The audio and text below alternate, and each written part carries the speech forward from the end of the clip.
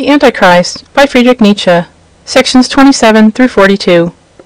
Christianity sprang from a soil so corrupt that on it everything natural, every natural value, every reality was opposed by the deepest instincts of the ruling class. It grew up as a sort of war to the death upon reality, and as such it has never been surpassed.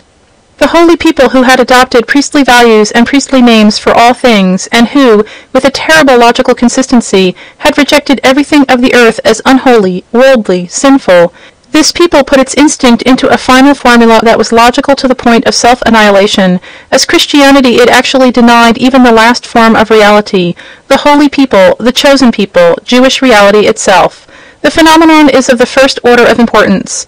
The small insurrectionary movement, which took the name of Jesus of Nazareth, is simply the Jewish instinct redivivus. In other words, it is the priestly instinct come to such a pass that it can no longer endure the priest as a fact.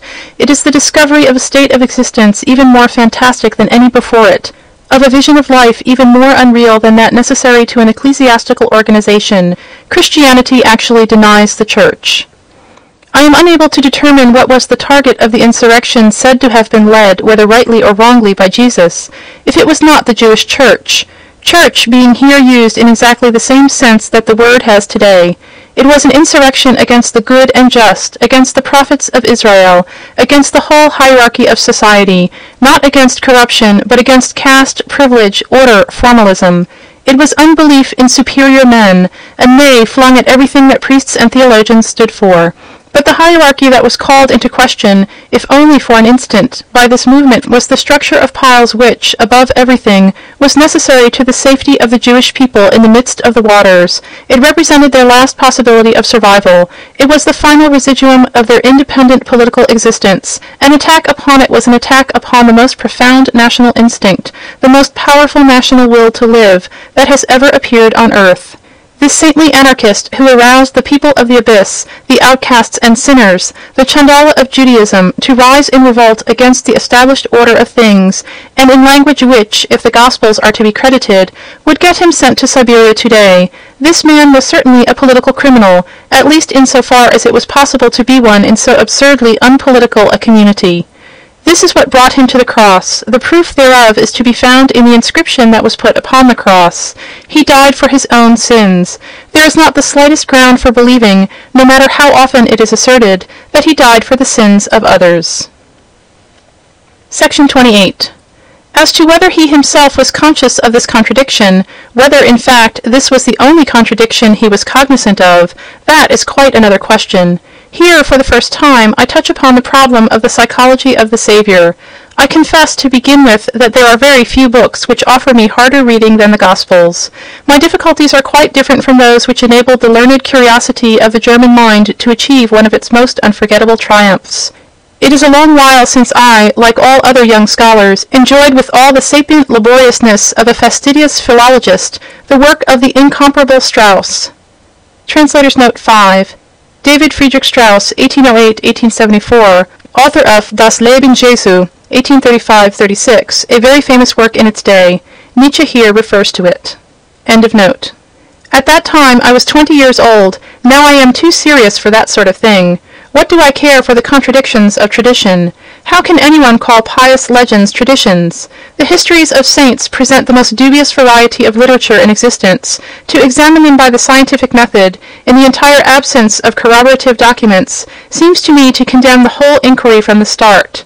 It is simply learned idling. Section 29. What concerns me is the psychological type of the Saviour. This type might be depicted in the Gospels in however mutilated a form, and however much overladen with extraneous characters, that is, in spite of the Gospels, just as the figure of Francis of Assisi shows itself in his legends in spite of his legends. It is not a question of mere truthful evidence as to what he did, what he said, and how he actually died. The question is whether his type is still conceivable, whether it has been handed down to us. All the attempts that I know of to read the history of a soul in the Gospels seem to me to reveal only a lamentable psychological levity.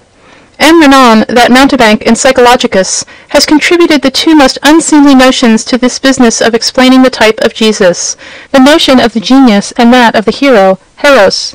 But if there is anything essentially unevangelical, it is surely the concept of the hero. What the Gospels make instinctive is precisely the reverse of all heroic struggle, of all taste for conflict. The very incapacity for resistance is here converted into something moral. Resist not evil, the most profound sentence in the Gospels, perhaps the true key to them, to wit, the blessedness of peace, of gentleness, the inability to be an enemy. What is the meaning of glad tidings? The true life, the life eternal has been found. It is not merely promised, it is here. It is in you. It is the life that lies in love, free from all retreats and exclusions, from all keeping of distances. Everyone is the child of God. Jesus claims nothing for himself alone. As the child of God, each man is the equal of every other man. Imagine making Jesus a hero. And what a tremendous misunderstanding appears in the word genius. Our whole conception of the spiritual, the whole conception of our civilization, could have had no meaning in the world that Jesus lived in. In the strict sense of the physiologist, a quite different word ought to be used here. We all know that there is a morbid sensibility of the tactile nerves which causes those suffering from it to recoil from every touch, and from every effort to grasp a solid object. Brought to its logical conclusion, such a physiological habitus becomes an instinctive hatred of all reality, a flight into the intangible, into the incomprehensible, a distaste for all formulae, for all conceptions of time and space, for everything established, customs, institutions, the church, a feeling of being at home in a world in which no sort of reality survives, a merely inner world, a true world, an eternal world, the kingdom of God is within you. Section 30. The instinctive hatred of reality, the consequence of an extreme susceptibility to pain and irritation, so great that merely to be touched becomes unendurable, for every sensation is too profound. The instinctive exclusion of all aversion, all hostility, all bounds and distances in feeling, the consequence of an extreme susceptibility to pain and irritation, so great that it senses all resistance, all compulsion to resistance, as unbearable anguish, that is to say, as harmful, as prohibited by the instinct of self-preservation, and regards blessedness, joy, as possible only when it is no longer necessary to offer resistance to anybody or anything, however evil or dangerous, love as the only, as the ultimate possibility of life. These are the two physiological realities upon and out of which the doctrine of salvation has sprung. I call them a sublime superdevelopment of hedonism upon a thoroughly unsalubrious soil. What stands most closely related to them, though with a large admixture of Greek vitality and nerve force, is Epicureanism, the theory of salvation of paganism. Epicurus was a typical decadent. I was the first to recognize him. The fear of pain, even of infinitely slight pain, the end of this can be nothing save a religion of love. Section 31. I have already given my answer to the problem. The prerequisite to it is the assumption that the type of the Savior has reached us only in a greatly distorted form. This distortion is very probable. There are many reasons why a type of that sort should not be handed down in a pure form, complete and free of additions. The milieu in which this strange figure moved must have left marks upon him, and more must have been imprinted by the history, the destiny, of the early Christian communities. The latter indeed must have embellished the type retrospectively, with characters which can be understood only as serving the purposes of war and of propaganda that strange and sickly world into which the Gospels lead us, a world apparently out of a Russian novel, in which the scum of society, nervous maladies, and childish idiocy keep a tryst, must in any case have coarsened the type. The first disciples, in particular, must have been forced to translate an existence visible only in symbols and incomprehensibilities into their own crudity, in order to understand it at all. In their sight, the type could take on reality only after it had been recast in a familiar mold. The prophet, the Messiah, the future judge, the teacher of morals, the worker of wonders, John the Baptist, all these merely presented chances to misunderstand it. Finally, let us not underrate the proprium of all great and especially all sectarian veneration. It tends to erase from the venerated objects all of its original traits and idiosyncrasies, often so painfully strange it does not even see them. It is greatly to be regretted that no Dostoevsky lived in the neighborhood of this most interesting decadent. I mean someone who would have felt the poignant charm of such a compound of the sublime, the morbid, and the childish. In the last analysis, the type, as a type of the decadence, may actually have been peculiarly complex and contradictory. Such a possibility is not to be lost sight of. Nevertheless, the probabilities seem to be against it, for in that case tradition would have been particularly accurate and objective, whereas we have reasons for assuming the contrary. Meanwhile there is a contradiction between the peaceful preacher of the Mount, the seashore and the fields, who appears like a new Buddha on a soil very unlike India's, and the aggressive fanatic, the mortal enemy of theologians and ecclesiastics, who stands glorified by Renan's malice as le grand maître en ironie. I myself haven't any doubt that the greater part of this venom, and no less of esprit, got itself into the concept of the master only as a result of the excited nature of Christian propaganda. We all know the unscrupulousness of sectarians when they set out to turn their leader into an apologia for themselves. When the early Christians had need of an adroit, contentious, pugnacious, and maliciously subtle theologian to tackle other theologians, they created a God that met that need, just as they put into his mouth without hesitation certain ideas that were necessary to them, but that were utterly at odds with the Gospels, the second coming, the last judgment, all sorts of expectations and promises current at the time. Section 32. I can only repeat that I set myself against all efforts to intrude the fanatic into the figure of the Saviour, the very word impérieux used by Renan is alone enough to annul the type. What the glad tidings tell us is simply that there are no more contradictions. The kingdom of heaven belongs to children. The faith that is voiced here is no more an embattled faith. It is at hand, it has been from the beginning.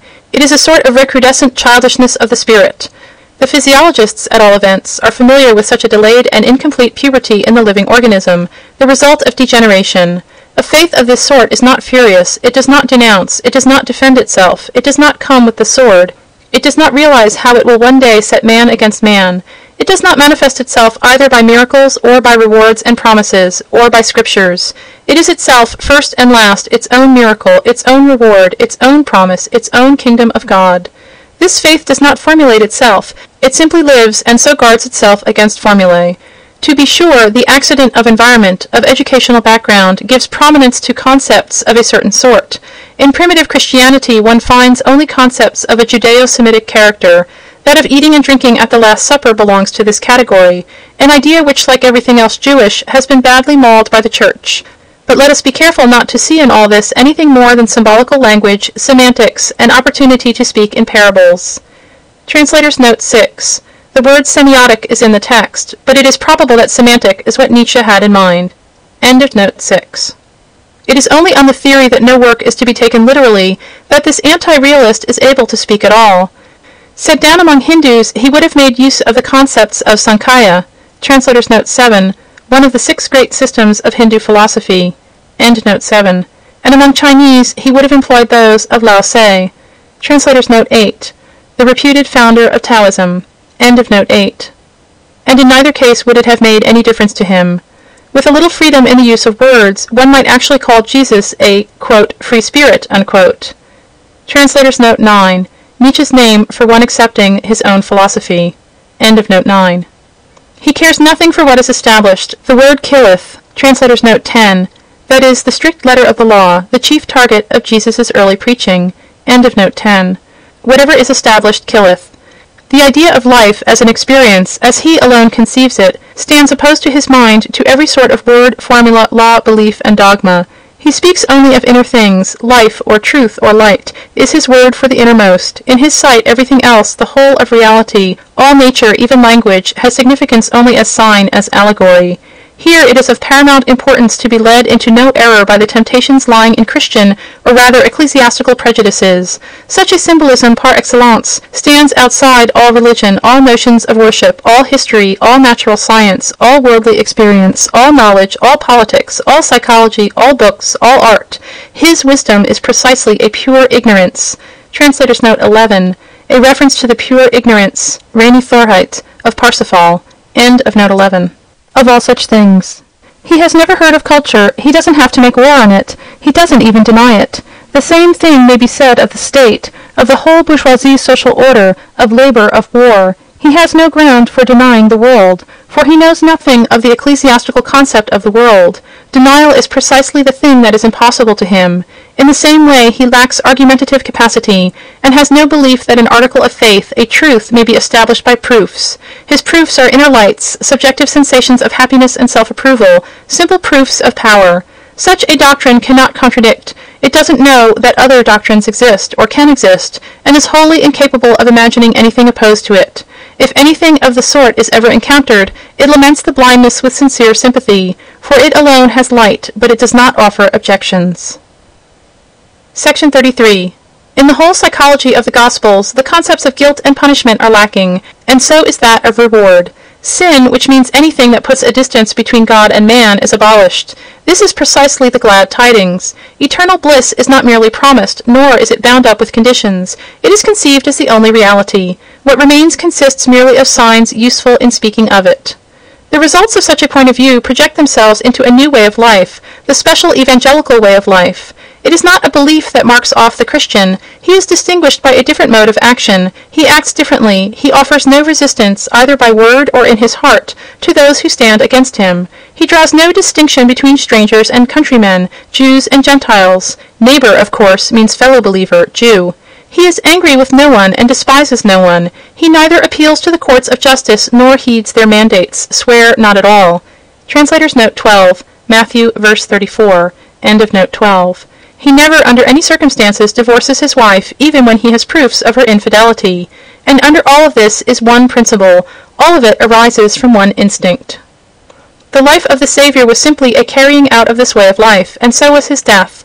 He no longer needed any formula or ritual in his relations with God, not even prayer. He had rejected the whole of the Jewish doctrine of repentance and atonement. He knew that it was only by a way of life that one could feel oneself divine, blessed, evangelical, a child of God. Not by repentance, not by prayer and forgiveness, is the way to God. Only the gospel way leads to God. It is itself God. What the Gospels abolished was the Judaism in the concepts of sin, forgiveness of sin, faith, salvation through faith. The whole ecclesiastical dogma of the Jews was denied by the glad tidings.